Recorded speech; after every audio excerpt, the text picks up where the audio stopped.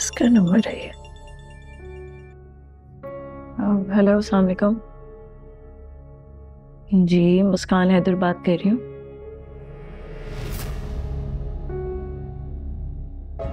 क्या?